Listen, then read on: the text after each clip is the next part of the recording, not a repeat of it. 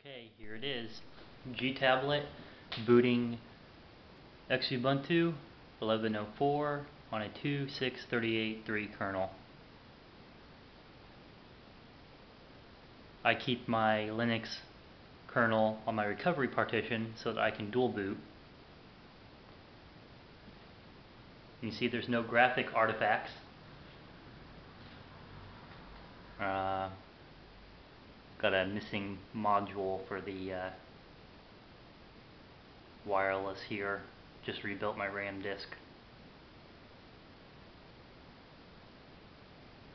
It'll continue boot here in a minute.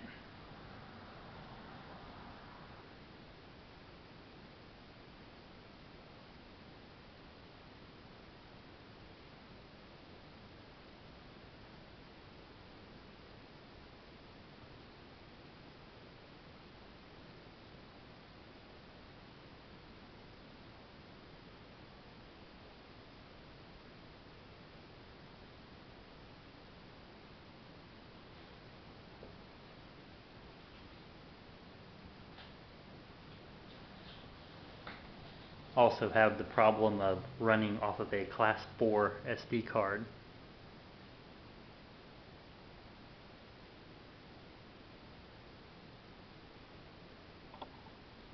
As you can see, the touchscreen is very responsive.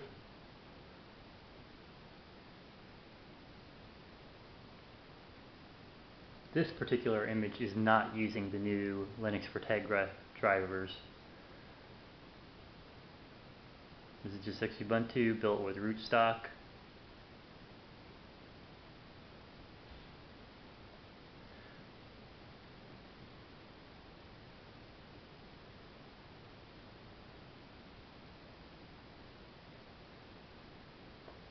And there's a hang up from my uh,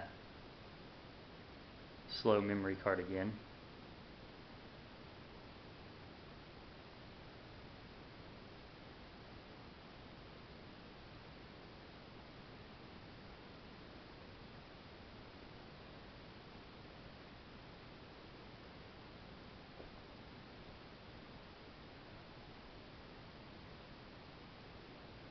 As you can see works very well.